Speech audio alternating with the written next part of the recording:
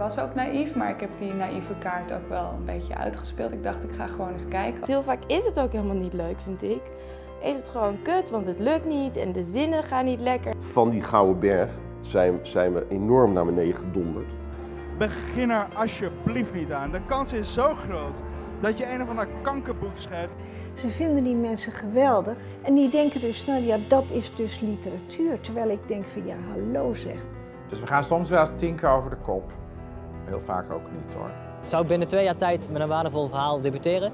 Um, dat heeft uiteindelijk twaalf jaar geduurd. Dus ik heb echt zeker een miljoen woorden aan tekst.